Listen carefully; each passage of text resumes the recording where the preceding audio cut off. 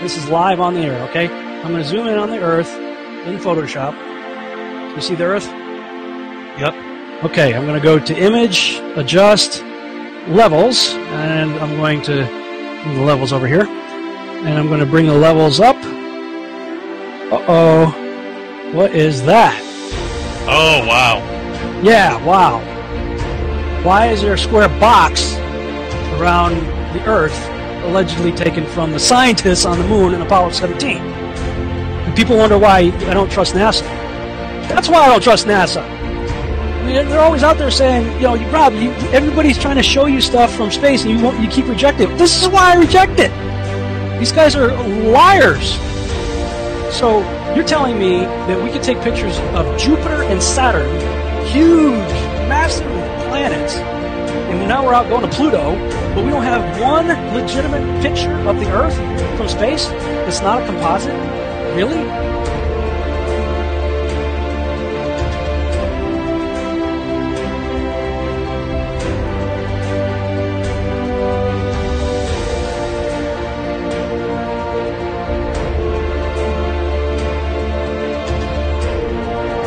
There are great ideas undiscovered, breakthroughs available to those who can remove one of truth's protective layers.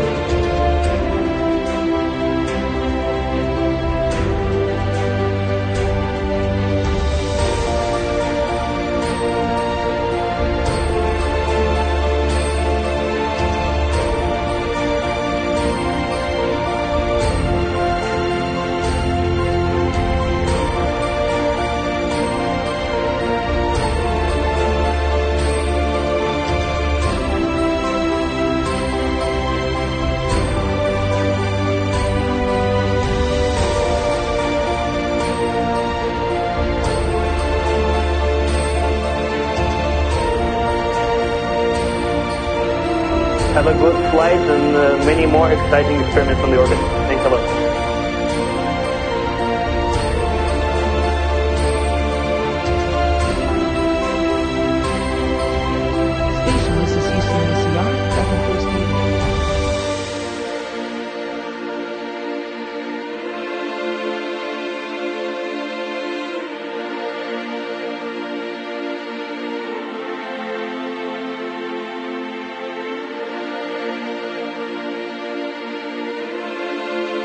It was all recorded on these telemetry tapes.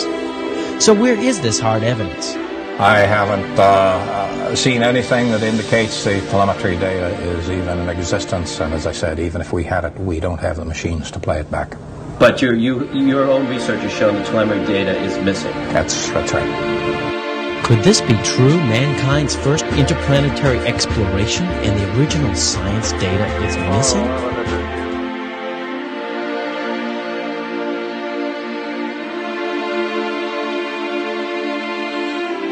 The paper failed to burn because it didn't have any oxygen, so how about something that has its own oxidizer, such as gunpowder? See this as a mixture of charcoal, sulfur, and potassium nitrate.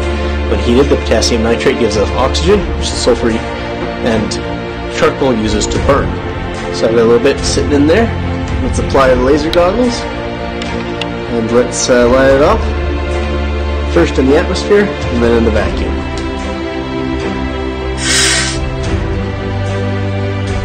Okay, as you can see, it produced lots of smoke and burned rather quickly.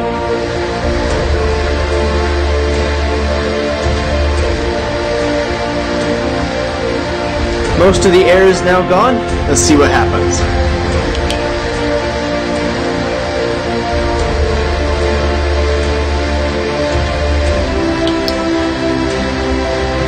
The gunpowder did not ignite. That's it. The gunpowder does not burn laser's on it, but other than that, no. It doesn't change from one particle to the next. I can't do anything.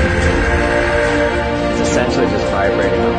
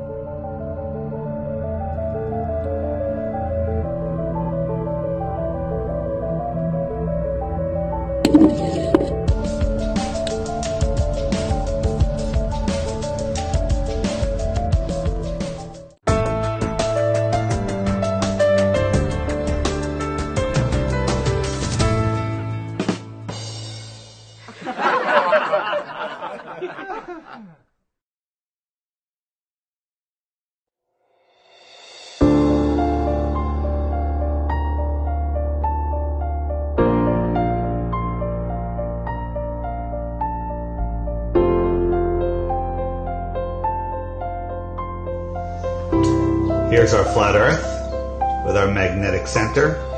This is the shoreline that we call Antarctica that surrounds our world. And here's my boat. I put my boat down and immediately the compass points north. If I want to circumnavigate, I want to head west or east, but we're going to go west right now. So I'm heading west, and as you see, west keeps turning. So I have to keep going, and this is how, when you go west, you end up going all the way back to where you started from. Same thing for east. I go east. I keep having to turn because my compass keeps making me turn to go east.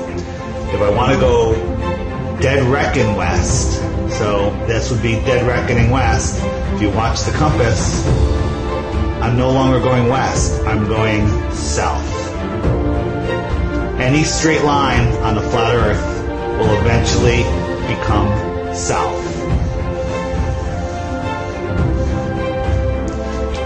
And that is how you circumnavigate on a flat earth. Nobody can circumnavigate south because when you go south, going.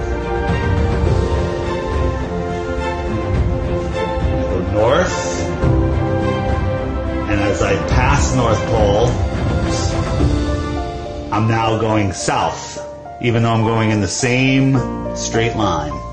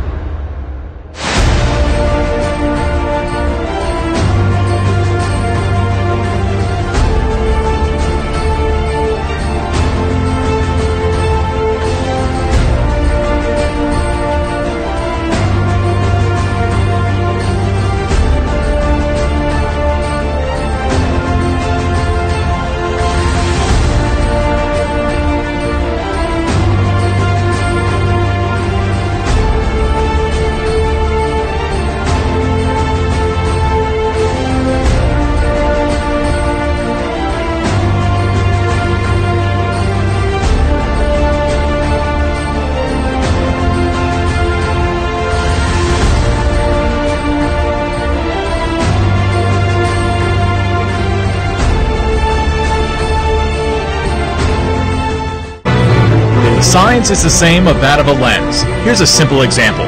the atmosphere really is like acting like a lens. Yes.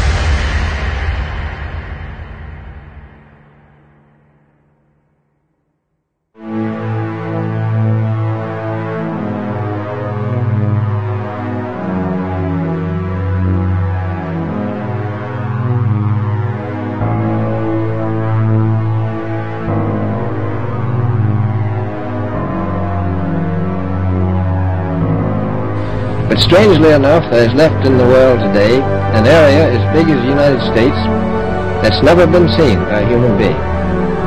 And that's beyond the pole, on the other side of the South Pole, from Middle America.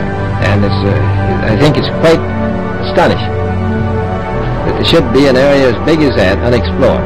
It's a tremendous So there's a lot of adventure left down at the bottom of the world.